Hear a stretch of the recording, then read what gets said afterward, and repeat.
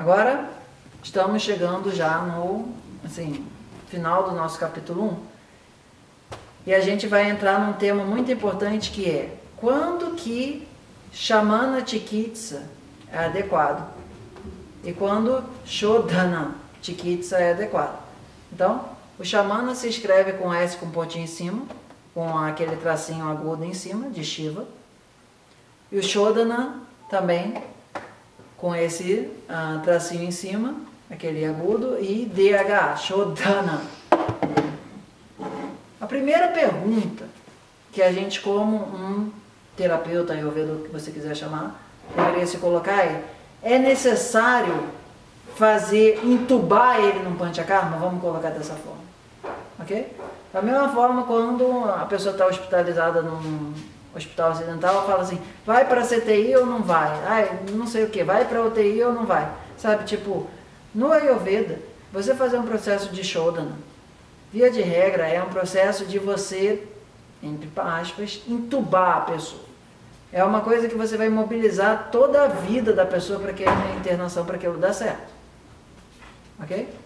E por que, que isso é necessário? Porque tem vezes aonde só um ventilador sem ligar o turbo não consegue fazer com que o teu corpo excrete, excrete, excrete adequadamente vata piticata. A gente já estudou. A ideia é de que a cada processo de digestão, uma parte do sistema ah, converte aquela comida em ahararasa, que é, digamos assim, matéria-prima para o corpo, e uma parte dessa conversão vai gerar vata enquanto pum, pita enquanto calor e capa enquanto cleda, enquanto líquido no sistema, que vai precisar ser de alguma forma filtrado pelo teu sistema e excretado. Ok? Vocês já ouviram muitas vezes a ideia de que a menstruação é como se fosse um panchakarma na pessoa. Isso é mentira. Do ponto de vista técnico, panchakarma é como se fosse um xamana na pessoa e não um shodana.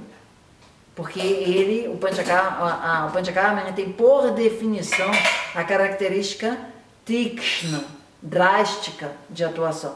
Senão, não é Shodana. Shodana é aquilo trazido através de, sabe aquelas descargas de cocô e de xixi?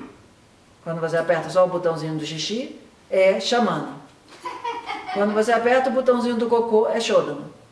A quantidade de água que você movimenta para fazer o chamana é muito mais suave e muito mais adequada para o xixi.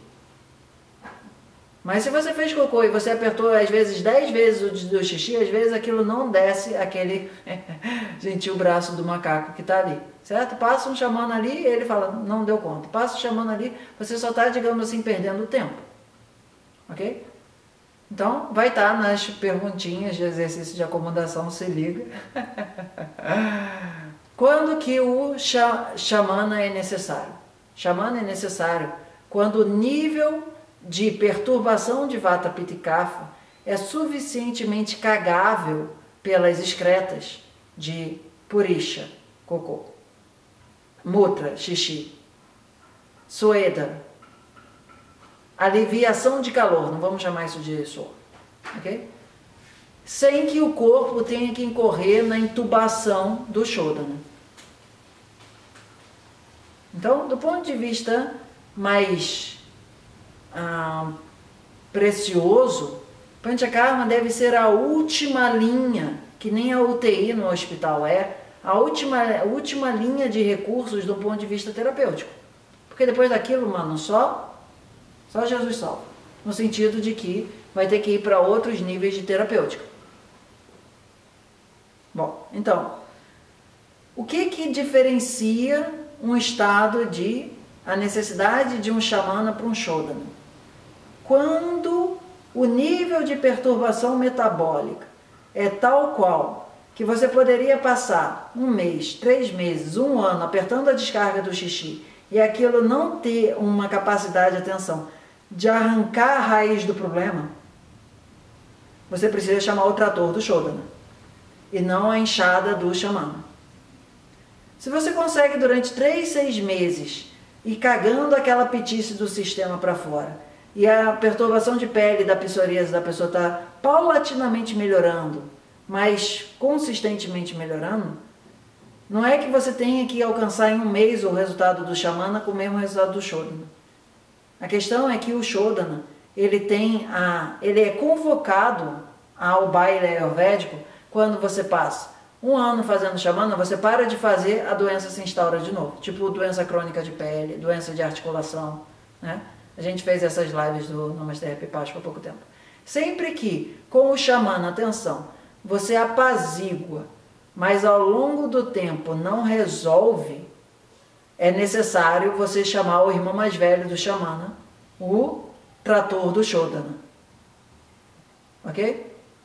Mas porque você já esgotou o que a CTI do xamana podia te dar e você teve que chamar a intubação do Shodana para a pessoa não parar de respirar com Covid. Entendeu? O grau de tensão. Não existe a opção certa. Tem que internar no CTI, a UTI sempre é melhor. Não, às vezes não é necessário. É um gasto de esforço, tempo e dinheiro que é só por uma questão de moda e não por uma questão de precisão técnica do ponto de vista teórico. Uma palavra que é muito importante para a gente entender como o Shodana tem que funcionar, se chama Utklesha. U-T-K-L-E-S com um pontinho embaixo, ah, Utklesha. Utklesha é um estado de exacerbação, a palavra Ut tem essa ideia de tipo uma água fervilhando, sabe quando a água está fervilhando e está caindo da panela ou qualquer coisa assim? Quando o arroz está vazando, etc.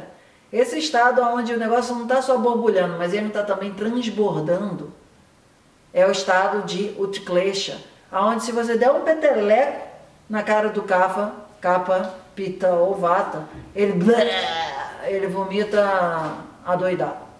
Quem já ficou de porre alguma vez, sabe aquela sensação do tipo, vou vomitar. Isso ainda não é Utklesha. Ok? Quando você começa a fazer e você tipo tá correndo para chegar no vaso no qualquer coisa antes de o vômito sair no meio da sala, esse estado onde o corpo está fazendo uma compressão interna para expulsar material de dentro, isso é o estado de Utklesha. Nesse estado, se você não fizer Shodana, a pessoa corre um sério risco de passar bem mal.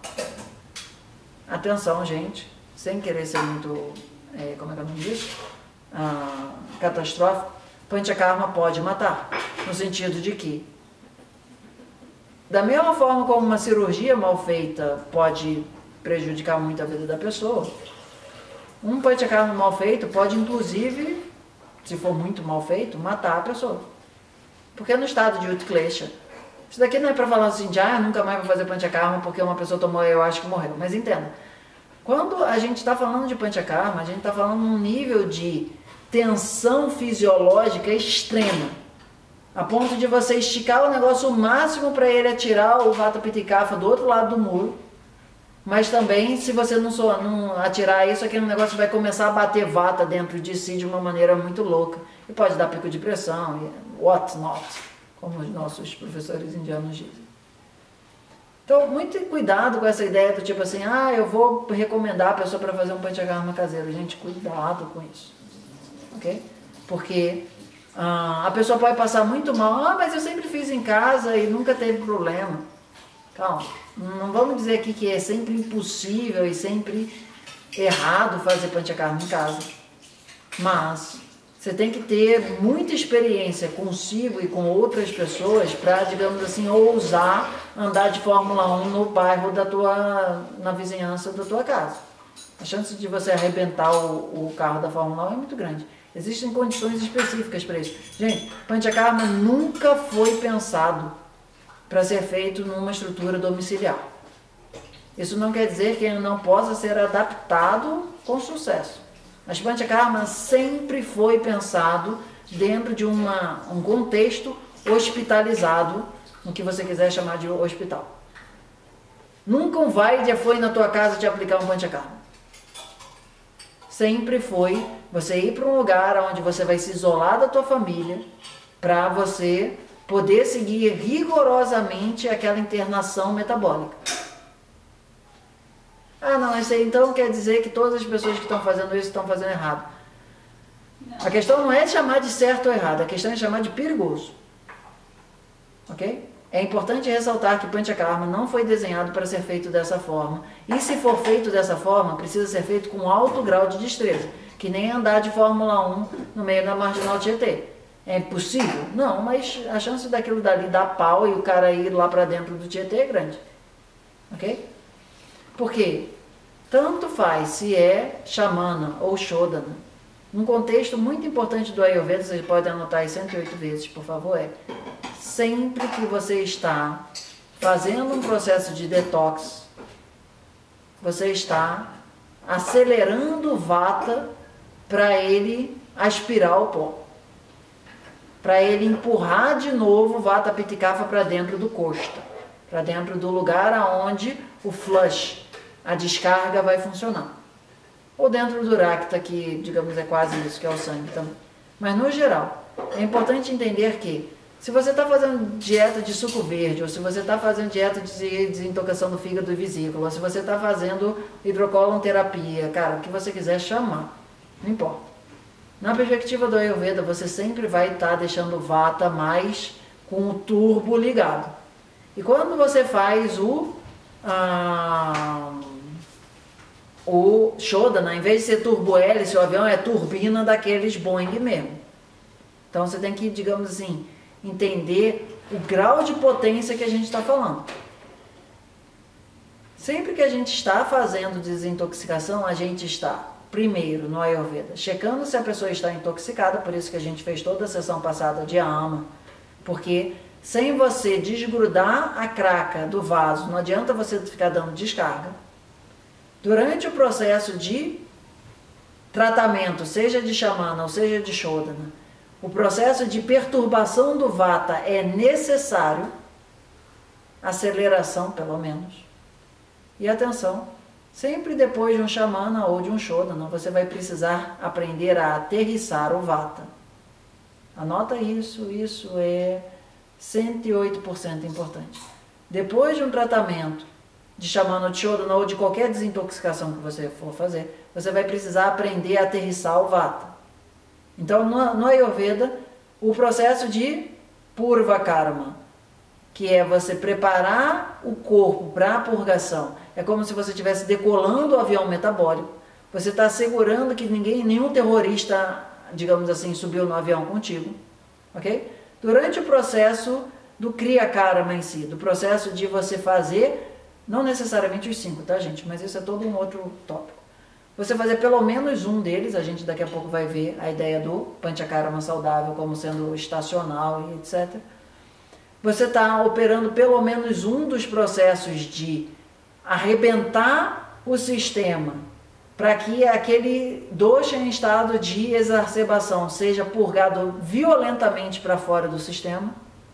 Ok? Sabe, se você pegar uma descarga daquela de cocô. E apertar um pouco, e depois apertar um pouco, e depois apertar um pouco, não vai funcionar. Você tem que apertar tudo de uma vez, para isso dar aquela pressão da caixa, fazer o pluft no cocô descer. É essa a ideia do Shodan. Tem que dar de balde o processo. Não é só a quantidade de esforço que você faz, tem uma intensidade ali batendo. E depois disso você vai ter que fazer um processo de regeneração do Agni e de acalmar, botar panos quentes, mornos na cara do Vata. Oi? E o quê? Nutrição. Depois disso vai chegar o conceito de Rasayana, mas isso a gente fala na sessão que vem. Um, o aspecto central é entender que depois de você fazer a cirurgia metabólica do Vamana, Verete, no baixo, qualquer coisa que seja, nossa, não importa, vai precisar de um tempo até o teu corpo se recuperar da, da surra metabólica. Por isso que a gente fala assim, não vai fazer panchakarma na Índia do tipo assim, 21 dias você chegou e depois você terminou 21 dias e sai. Não é assim que faz. Você vai fazer 21 dias, você chega, fica 3 dias para o teu corpo acalmar o vata do jet lag, pelo menos. Você termina 3 dias, você fica na Índia ainda para o corpo acostumado ao panchakarma, volta para o Brasil mais 3 dias para o corpo se recuperar, e aí você meio que num mês de férias, você consegue parcelar o Vata em três vezes para você ter uma chance minimamente aceitável de conseguir fazer um Panchakarma num mês dentro do que o nosso mundo contemporâneo de 30 dias de férias mais ou menos permite. Porque senão você só vai ter gastado uma fortuna à toa. Ok? Então, desse talk, desse vídeo de agora, a palavra importante é utklesha. E como ter essa noção de hum, pressão para a descarga você apertar o botão do cocô de uma vez só para ele ter grande chance de jogar a bosta, digamos assim, hum, tubo abaixo. Ok? Baste abaixo. Vamos lá.